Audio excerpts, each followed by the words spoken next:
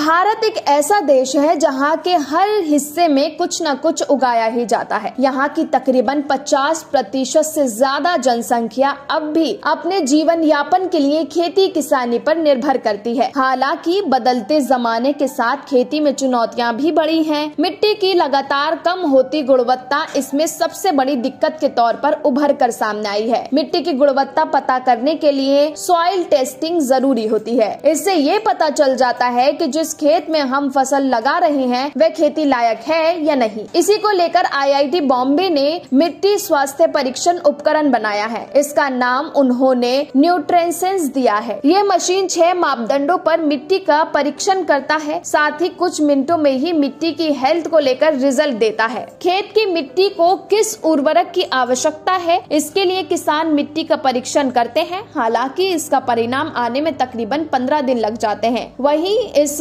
उपकरण को बनाने वाले डॉक्टर राजुल पाटकर द्वारा बनाया गया न्यूट्रिशंस महज कुछ मिनट में ही परिणाम दे देता है। इससे किसानों को काफ़ी मदद मिलती है। इस डिवाइस के ज़रिए मिट्टी को टेस्ट करने के लिए सबसे पहले एक ग्राम मिट्टी का उपयोग करके एक नमूना तैयार किया जाता है। फिर एक छोटी शीशी में तीन मिलीमीटर का एक एजेंट घोल डाला जाता है। इसे मिट्टी के साथ मिलाया जाता है। फिर मिट्टी को सख्त होने के लिए लगभग आधे घंटे के लिए छोड़ दिया जाता है। इसके बाद डिवाइस के सेंसर पर घोल की एक बूंद डाली जाती है। इस डिवाइस पे सभी छह मापदंडों के लिए मिट्टी का परीक्षण करने में सक्षम है। इस डिवाइस की मदद से लगभग पाँच मिनट में ही मिट्टी की परिणाम सामने आ जाएगा और मिट्टी स्वास्थ्य कार्ड तैयार हो जाएगा। इसे तुरंत मोबाइल फ़ोन में डाउनलोड भी किया जा सकता है। ब्यूरो रिपोर्ट, फ़सल क्रांति न्यूज़।